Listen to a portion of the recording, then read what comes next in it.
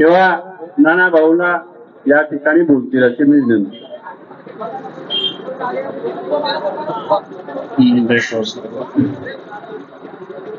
भारत माता की.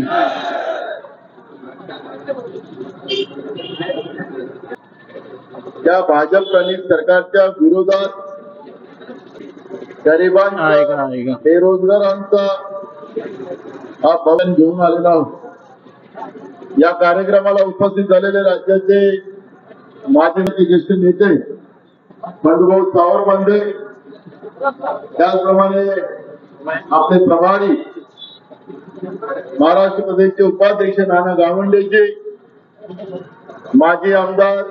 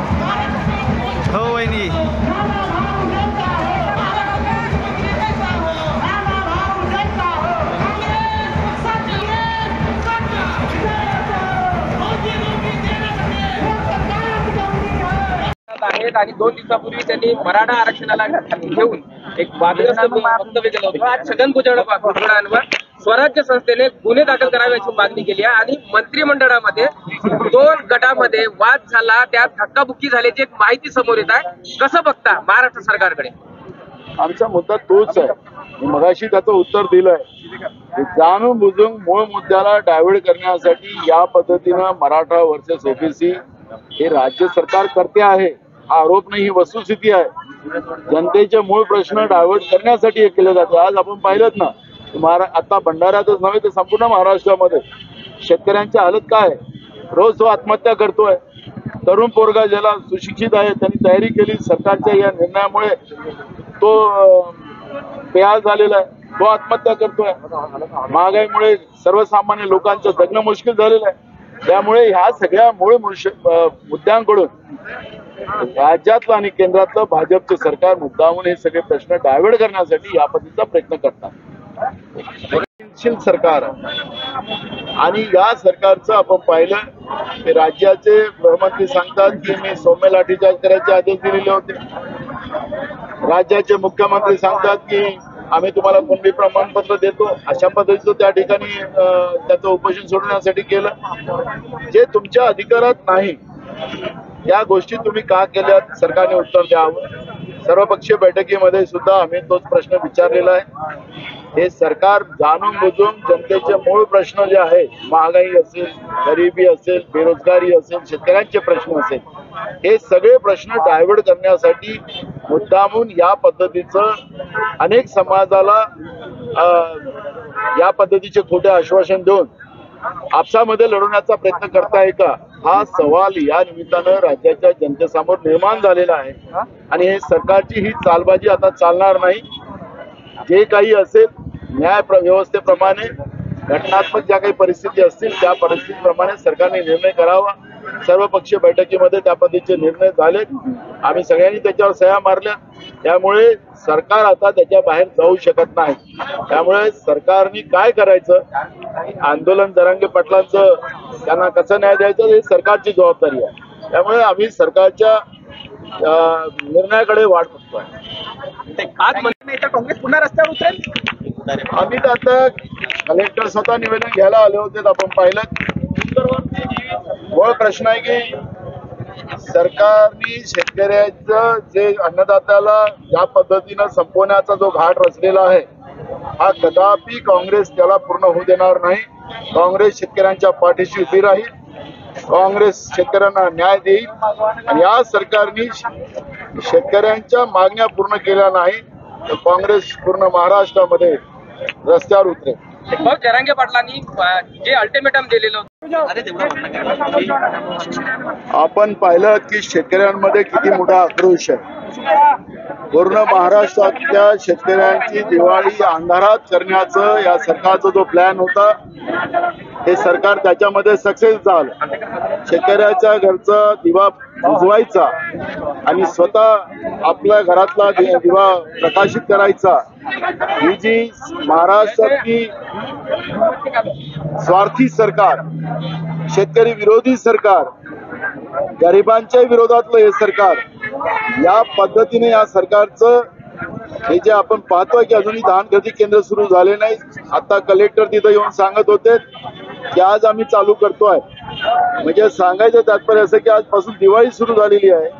शेतकऱ्यांनी पिकवल्या धानाला पैसे नाही आणि शेतकऱ्यांची दिवाळी अंधारात करण्याचा हा सरकारचा जो मानस होता सरकार त्याच्यात सफल झालेला आहे.